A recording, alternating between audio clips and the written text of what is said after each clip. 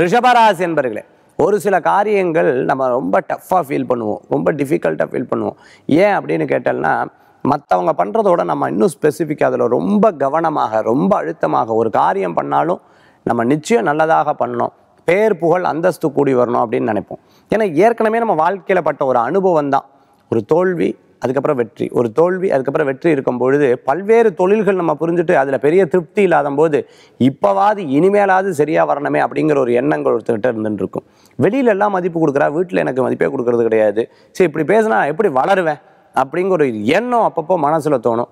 ஆனால் நீங்கள் எப்பவுமே ஜெயிக்கிறதுக்கு உண்டானால் அதனால் எல்லா காரியங்களையும் வெற்றி பெறுவீர்கள். கவலையே வேண்டாம். இன்றைக்கி ஒரு சில விஷயங்கள் கொஞ்சம் கஷ்டமாக நீங்கள் நினச்சாலும் மற்றபடி எல்லா காரியங்களும் உங்களுக்கு சுலபமாக முடியும். அதிர்ஷ்டம் தரக்கூடிய அற்புதமான எண் நான்கு நிறம் பிரவுன் வழிபாட்டுக்குண்டான தெய்வம் மகிஷாசுரமர்த்தினி வழிபாடு. விசேஷ பலன்களை தரும் அற்புதமான வழிபாடு.